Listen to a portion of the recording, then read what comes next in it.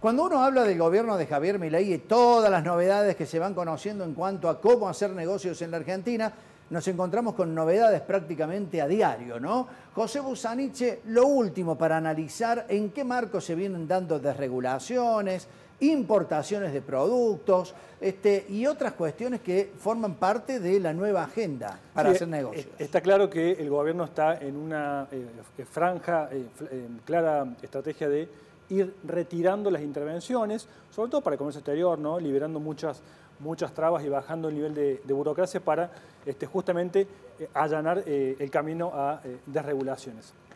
Todavía falta mucho para encontrar para muchos sectores el nivel de rebote de la actividad. Eh, fíjate que pasó una de eh, las efemérides más fuertes para el comercio, como es el Día de la Madre. ¿no? Después de las fiestas, la venta más fuerte se concentra en el Día de la Madre y los comerciantes festejaron que cayó 1,2% el nivel de, venta. ¿no? Con lo cual hubo una caída, pero festejada porque están diciendo, bueno, está empezando a rebotar. Pero es muy difícil todavía encontrar las estrategias, definir estrategias para los comerciantes en una economía todavía, todavía muy seca. ¿no? Bueno, muy seca. ¿Habrá posibilidades de que tengamos al menos una primavera que avance en algún rebrote? ¿Hay alguna chance? Bueno, nos está acompañando aquí en los estudios Guillermo González, un reconocido consultor de negocios, para hablarnos de este tema y sobre todo estas desregulaciones que vienen de la mano del gobierno de Javier Milei. Guillermo, bienvenido, buenas noches, ¿cómo estás? Buenas noches, gracias por la invitación. Pensaba este, a, a, propósito del título, ¿no? con el diario del lunes cómo ha cambiado el concepto, ¿no? Ya con el diario del lunes tampoco se puede. Imagino este programa eh, con una editorial lista para hacer, para hablar, para decir, y te enterás hace 15 minutos que se cierra la FIP. Y te cambiaron con el diario del lunes lo que viene. Por lo cual, eh, afrontar estos cambios eh, no es para cualquiera. Ahora, ¿y qué significa eso? ¿O qué significan estos cambios? ¿Es una nueva era? Es una nueva época por lo pronto. No sé si una nueva era. Es una nueva era, eh, una nueva época de hacer las cosas diferentes, de adaptarse rápido a los cambios. Los cambios ocurren cada vez más rápido. No hay tiempo de pensar. Ya no hay más tiempo de estrategias a largo plazo. Hoy es con el cuchillo entre los palo y a la bolsa. Palo y a la bolsa. Lo cual, desde el lugar donde yo lo veo, creo que es una ventaja competitiva para los comerciantes chicos. Lo están entendiendo los que te consultan, el comerciante pyme, está entendiendo, en, entra esa ficha de que hay que ser flexible y hay que adaptarse. Todavía, están todavía con un paradigma muy viejo, que tiene que ver con lo que nos ha pasado en los últimos 50 años. Hoy el 90% de los comerciantes cree que la gente busca precio. Y esa es la mentira más grande que hay en el mundo de los negocios hoy. No es cierto que la gente busca precio. Ahora, cuando vos lo único que le das es precio, la gente busca precio. Pero hay cinco cosas que uno le tiene que dar a un consumidor. Marca, beneficio, servicio, producto y precio. Si vos no le das estas cuatro, te pelean el precio. Ahora, para dar un ejemplo, está bien, todos podrán decir, está bien. Cuando vos vas a comprar un iPhone, no pelea el precio, pero tenés todas estas cuatro cosas. Cuando vas a comprar un kilo de tomate, pelea el precio. ¿Y por qué? Y porque no te dan nada. Pero eso pasa aún hoy, Guillermo, con, la, economía en, el contexto en el que está. Sí, más que nunca te diría. Se aferran a eso. El no vendo es porque la gente solo busca precio. Pero no sabemos darle otra cosa. Pero bueno, también eh, lo que yo diga no sé si tiene tanta importancia, es una mirada. Guillermo, ahora, ¿y cómo, ¿y cómo se vende hoy? Porque hace muy poco, menos de un año, la inflación tan alta tapaba todo, tapaba todo, vos no mirabas a lo mejor tu lista de costos porque total este, lo, lo, tirabas o estoqueabas, total, ¿viste? Este, todo, lo, todo lo comía la inflación. ¿Cómo se vende hoy que ha cambiado tanto en tan poco tiempo? No sé cómo se vende, yo sé cómo se debería. Bien. Y se debería vender beneficios, no productos. La batalla está entre lo intangible versus lo tangible. Mientras lo que vos vendas se pueda ver, se pueda pesar, se pueda tocar, se pueda medir y vos estás en problemas. Hay que agregarle intangibilidad a los productos. Esa es la forma que se vende hoy, o que se debería. Complicado. Bien. Claro, no, digamos, no, es algo fácil. Sí, pero no es difícil, porque todos lo tienen. Si vos, hay un ejercicio muy simple. vos tenés un negocio, de lo que sea. Pregúntale a tus clientes por qué te eligen. Todos te van a decir cosas que no están en tu lista de precios. Entonces no es tan difícil. El cliente ya sabe por qué te elige. Vos no sabes por qué te elige. Pero en esto de, cómo vender hoy y, todo lo demás, con la gente que, a las que vos asesoras, ¿cuál es el clic? ¿Cuándo, se hacen un clic para decir, bueno, cambio la forma de vender que tengo, que vos me decís hace 50 años que viene con la misma? Sí, hay, hay una pregunta que a mí me gusta mucho, o una afirmación que me gusta mucho hacer, que tiene que ver con cuándo es el mejor momento para cambiar. El mejor momento para cambiar es cuando crees que no tenés que cambiar. Después siempre es tarde. Cuando venís ahí siempre. Claro, entonces, ¿por qué hoy la gente cambia su forma de vender? Yo tengo más demanda que nunca. Más demanda que nunca. ¿Por qué? Porque la gente no vende. Cambiar en ese contexto es tarde. Están en el pozo. Y estás muy, es muy difícil, no tenés músculo, no tenés recursos, no tenés personal, no tenés plata, no tenés ganas, no tenés humor. Bueno, no, todo. no, no el libro, el misil comercial, el último libro, pero algunas claves para empezar a trabajar la forma desde otro lado, la forma de la venta desde otro lado. No sé si es la productividad, si es revisar costos, ¿qué es? ¿Por dónde sí, el misil comercial es la continuidad de mi, de mi libro anterior de Comerciante Empresario. De Comerciante Empresario es un libro para las personas, el misil comercial es un libro para los negocios. Bien.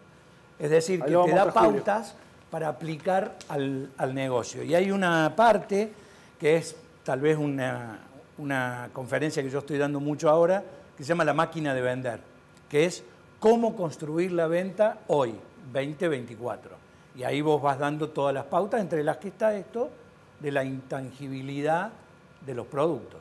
Entonces, estamos siendo conscientes de que tampoco sabemos vender en cualquier tipo de contexto, ¿no? Y yo creo que ese es uno de los grandes errores. Vos a un vendedor, cualquiera sea, del rubro que sea, le preguntas por qué no podés vender más, las cinco primeras cosas que te dicen no tienen nada que ver con él. Eh, te dicen la inflación, el gobierno, la competencia desleal. ¿Y vos? La gente cree que se vende igual que hace un año. Nike, acabo de publicar un video sobre Nike. Nike hizo el ejercicio del año pasado y le dio un 2% de baja de ventas y un 25% de baja en sus acciones. Es para pegarse un cuetazo. Y ahora toda la estrategia que están implementando tiene que ver con salir de cómo vendían hace un año. Recuperar esa vieja mística de la marca que no la tenía. Y eso lo tiene que hacer el comerciante chico, el mediano y el grande. Porque si no, el, el futuro es si vos no me ofreces algo diferente, ¿por qué yo te voy a elegir a vos? Bien, y en un contexto en donde también vemos que algunas aplicaciones, algunos mercados, no quiero dar el nombre de la marca, pero te venden todo un listado de distintas gamas de productos y sobre todo con bajo precio y te lo llevan a tu casa. Lo de bajo precio lo podemos charlar, lo que te lo llevan a tu casa gratis, también lo podemos charlar. En algunos casos también podemos decir que lo conseguís más barato que en cualquier comercio. Sí, es un formador de precios, ese mercado particularmente, pero también hay un meme muy famoso dando vuelta que dice, en este lugar vos comprás un envío y viene con un producto. Está bien, sí, es cierto. O sea, hay que saber encontrar también las vetas donde vos te podés hacer fuerte. ¿Tiene algo ese mercado que no tiene nadie? Y que es un intangible, que la gente valora mucho, que es la credibilidad. la, baja del poder adquisitivo, porque tuvimos una devaluación hace meses, ya casi nos hemos olvidado, pero fue una devaluación fuerte. Esa baja del poder adquisitivo no tiene que ver, no digo es el, es el precio, pero sí el mercado, una crisis del mercado. Sí. Si yo me caso y me divorcio, puedo culpar a mi mujer pero también puedo culpar mi elección. El cliente hoy se elige. Entonces, si vos elegís el cliente equivocado, vos vas a tener resultados de ventas equivocados. ¿Es verdad que hay cada vez más pobres? Wow, nadie lo puede negar. Ahora, si vos elegís un mercado, ese mercado hay que darle lo que busca ese mercado. ¿Hay un mercado grande que busca solamente precio? Sí, y los que venden precio en ese mercado les va muy bien. El problema es que, ¿sabes qué pasa? Y me encanta porque la pregunta es muy inteligente.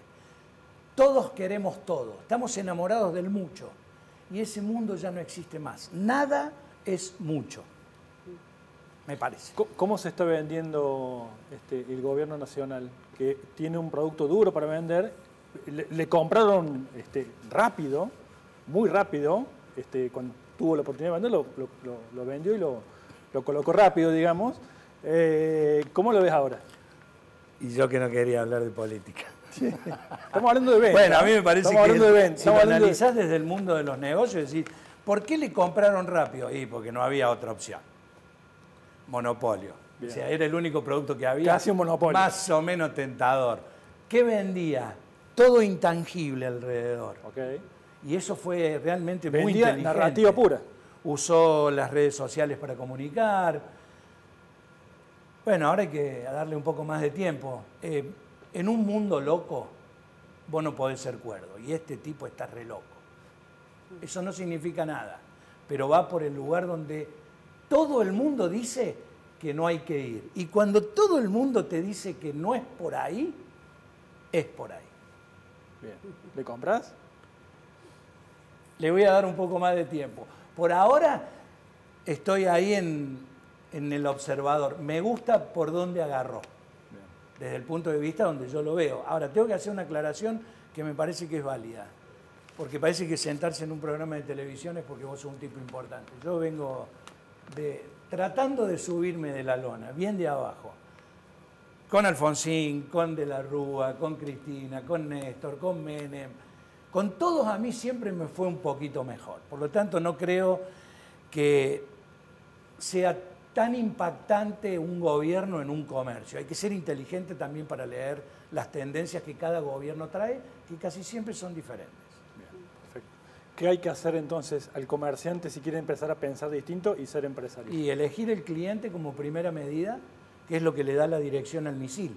Hoy el cliente se elige, vos no le podés vender a todo el mundo, tenés que elegir y se llama cliente ideal. Es muy difícil eso. Es súper fácil. ¿Sí? Qué bueno, súper fácil. Hay un dato, ley de Pareto. Pareto es un tipo que dijo una frase que aplica a la vida. El 80% de los resultados se obtienen con el 20% del esfuerzo. Eso dijo Pareto. Y se aplica a la vida. Si vos querés saber cuál es tu cliente ideal, andá los números. Agarrá las ventas del último día, no del último mes, del último día. El 80% de las ventas se lo hiciste al 20% de los clientes. Ok. Ese es tu cliente ideal. Bien. Guillermo, realmente muy interesante. Lamentablemente nos hemos quedado sin tiempo, pero quedo, Frase queda, de la tele, ¿no? queda solamente esta imagen, el misil comercial, el libro que está editando. ¿Ya está en la calle? Sí. Sí, sí, desde abril está en venta. Bueno, Sí, otro bien intangible sí, ese tiene mucho intangible. y mucha información. Gracias. Guillermo. Muy No, gracias a ustedes, un placer. Nos vamos a la pausa. En instantes seguimos con el diario del lunes. No se vaya.